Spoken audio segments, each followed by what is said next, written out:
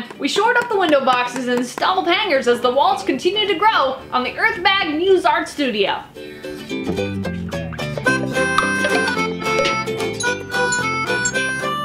After weeks of dodging rainstorms, we finally get a reprieve. We quickly jump into work to reach the top of the window boxes with bags. Don't tell me what I know, Travis. What was it? What was it he got wrong?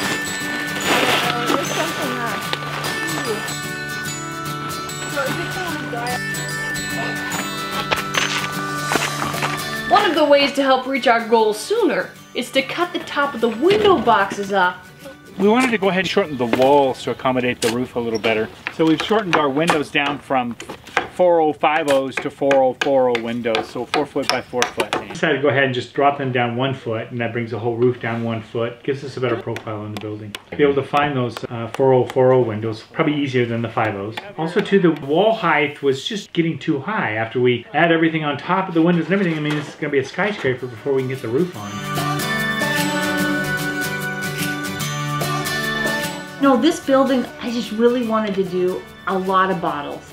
We had saved a bunch of bottles and I was hoping to be able to use them, but when you put them together, I don't want them to stick out too far beyond the bags because then you have to kind of cob around and they kind of stick out. So I was trying to stay real close to the same width. So, where do you think, Bri? Right there? Yeah.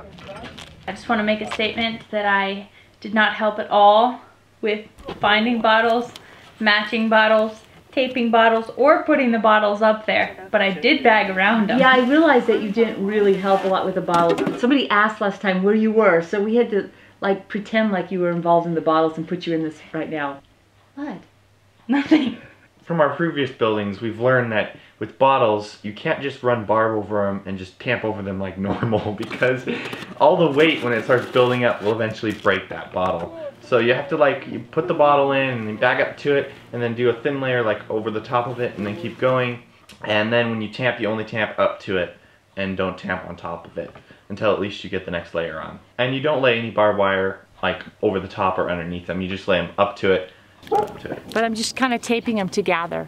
What I found that works really well is to just put those two bottles together and then tape them off.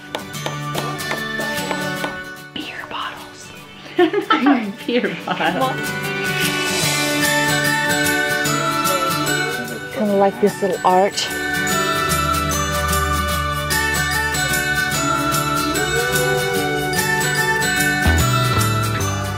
when we first started the design process for this and everything, um, Dad really wanted to put in buttresses. We talked him out of it because we don't like the look. Well, buttresses are a device that work. They have these very, very long walls with these huge steeples, and you just couldn't get a long wall on a huge steeple without some support. So they began to put these things called buttresses, which were steel, brick, concrete type of frames that actually held the wall in place like a triangle, and then they were able to support the actual steeples that sat on top of that. For us, we would have had to have uh, put them in the walls, and um, they would have been four foot little sections that kind of continued up the side of a wall. Because we didn't put the buttresses in, it is possible that we had more problems than we really um, No, would normally have had. You lay too many layers too fast and they never get a chance to dry and harden. It's like a, a bag that can move. Even, with- even with it just being damp, it allows it to move quite a bit and get retamped and stuff. Once it gets hardened, that thing is rock solid. A 30 foot circle on a 14 inch bag is absolute max that you'd ever want to do. It really is. We didn't really know that going in we didn't really think that, that far. We didn't even think it would matter really because we've had such good luck with the smaller circles. And then once we got up to a certain height, we had we had had some issues with uh, just setting the walls, and our center line got a little shorter at one point, and it brought the walls in and out. And normally that would be okay, but then we had a big rain come through. It soaked the bags all the way through down to the bottom one, caused a lot of weakening to happen, and then it started to buckle. I mean, if we would have put buttresses in, we wouldn't have had these problems. Let's try the simple first and then go to the more complicated. And it took a lot of rain. It, it was it was the worst place for something like this to happen, but it did right there. Mm-hmm. And we started losing a little bit of integrity on the wall. suspecting that the wall was possibly moving.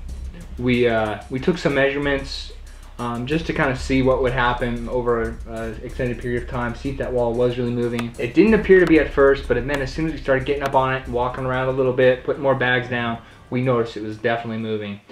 We have discovered bad listing problem here. So we're going to try to fix it. We decided to use come along. So we were at the base of the door downstairs. We are able to connect the, the come along at the base, run a cable all the way up to the wall. We were able to run the cable through. We put a backing on the back of that so that on the outside of the wall we could run the cable through, back and around, out to the come along. We're going to try to push this entire back section over this way. And then use the come along to bring the wall in. That is already a, a ton better. If you just look at this line. I'd go some more. Wow. to be, it needs to be pushed in, and I'm thinking we could tamp it. And we'd move it over and then tamp it down. So this isn't going anywhere because it's got this, you know?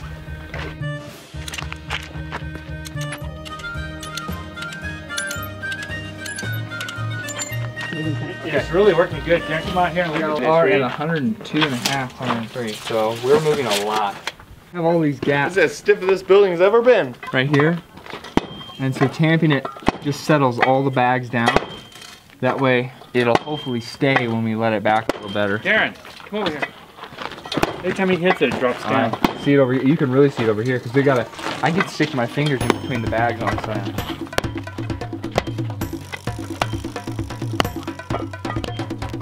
Um, the dirt on the center bags here, since we had that big rain, all the dirt is still damp. hasn't dried yet. So it's gonna re resettle really nice. If it was all dry, the wall would get weaker. Uh, we did the very same thing on the outside. Put a hole through the wall to the inside, put a brace on that, and then wrapped it around, come back in, and, and then we drove stakes down into the ground, put the come along on, went ahead. And this S turn kind of thing we had going on, we were able to kind of straighten it out. When we were doing this, our one of our links in the wire we were using ended up popping, which I guess you kind of always expect to, or you, you're kind of always afraid of it, so you're kind of always careful around it. But uh, it actually happened this time. Yeah, it come out about six or eight inches, didn't it? At it was least, like, yeah, it was. ooh, it was- really. The come-alongs worked really good to pull the wall back to where we wanted it. Um, I think what it was is a spring effect where we had pulled it in. When it busted, it just like whoa, all as Yeah. far as it could go instead of just coming back to normal. So it went a little bit past. We brought it back in. It's just unforeseen. You can't always. Sometimes things break. It's actually a pretty good testament to what the bags, how sturdy they really Yeah, are. right. I mean, to be able to spring back like that and hang out just at a crazy angle and just stop. Yeah. I mean, that's it. Really is quite amazing. You know what's another thing is a testament to those cleats that are attached to the post. Because without them, we might have lost the whole wall. I think. yeah. And let's uh, let's get a cleat on there. I'll go make one if you want to tamp that over. Maybe that. So Dad's first thing was he just wanted to tamp it, and I was like, no, no, no, you can't just tamp a giant section. But later on, he did suggest it again on a smaller section, and I said, no, it doesn't work. Remember, we've gone through this. This just does not work. And then he left to go over, and I was out of ideas. And so I was like, okay, Dad's gone. We can test the tamp now.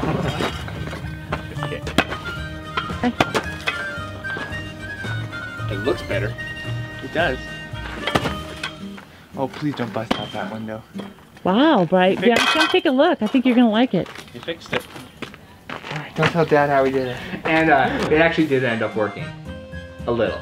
Was that was that hard to admit? Yes. Let's look. Look at that wall. Look at that wall. How beautiful is that? Better than it was. So But we managed to get it back in, get everything all pulled back together.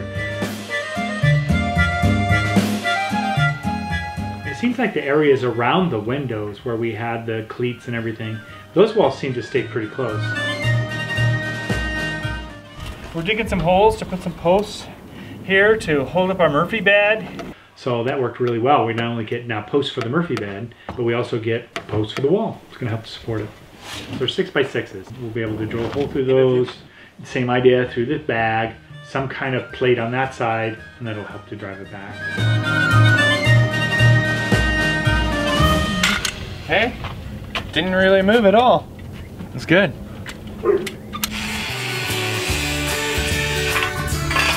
we got it straight again, and it, we've got it to dry. And we're also gonna run some extra T-post in there.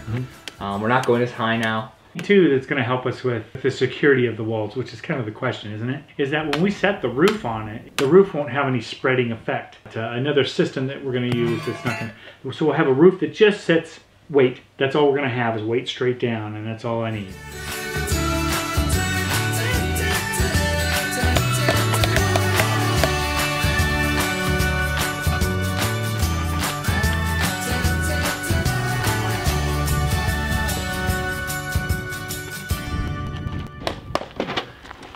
Uh, for headers, we did something a little bit more simple. Instead of going out and buying 4x8s or 4x material, we just used 2x6s, uh, three locked together. Threw some cleats on the bottom of them, and we set them right on top of the windows. Keeps our profile low. We get this the strength that you get from a header so that the roof can set over the top of a window. So that worked out really well. We ended up upgrading the header over the door. But originally we were just gonna double that up, um, but then you found the Yeah, you I found the nice some material. I found some roughs on Yeah. um, dimensional material, six by six. They're bowling in, so we have to push them out so we can put the top on so our door will fit in correctly. took and straightened out the wall, pulling that section in. We actually pushed the door out of level or out of plumb. Out of plumb. Um, so we had to we had to kind of bring that back in and uh,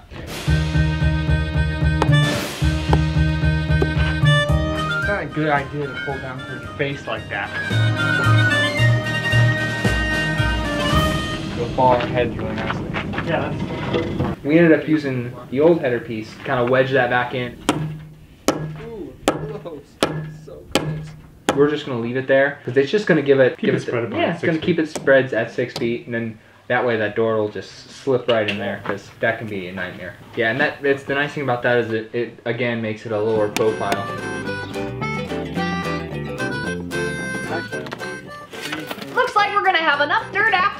With enough to spare. Still need more to fill in with bags once we get the roof on. Speaking of which, next time we bring you an update, it'll be on installing the roof for this crazy structure. As always, thanks for watching and have a great week.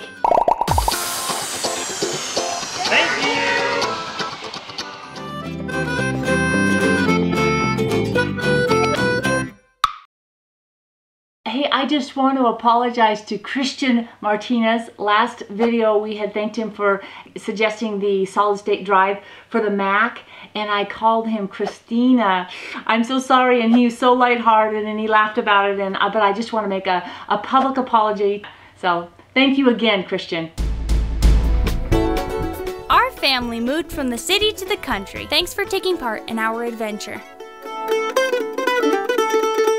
We have new videos every Friday evening. If you would like to help us out, you can like this video, share it, subscribe, or support us on Patreon. See the links in the description. Come here, yeah, you, she's a good girl. Boo, can you Oh, play you guys game? act like you like her on camera. I'm just surprised she came to you. She loves me. Here, meow. She's gonna bite me. She is. She's gonna bite Dad. Yeah. She's gonna bite you. That She was did really this for scary. that was scary. Do that. Oh, we're filming? Don't Oh you yeah? Shae, how close? Cute hat that wanted. Oh my gosh. When was the last time you combed that hair? Hello, it's me.